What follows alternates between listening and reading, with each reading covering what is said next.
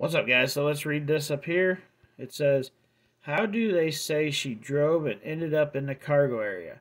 How many times has that happened before? She was not alone out there. Did people just watch her drive off and do nothing? How do they say accident without ruling out all foul play? Like, there's so much foul play, potential foul play in this. Like, this girl was dead before she went in the water.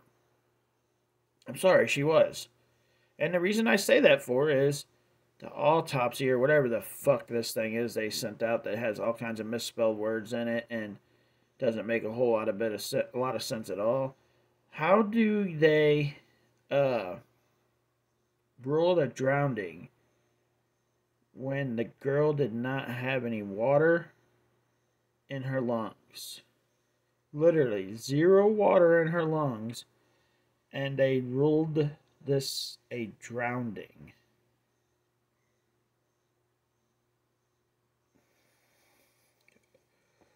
Okay.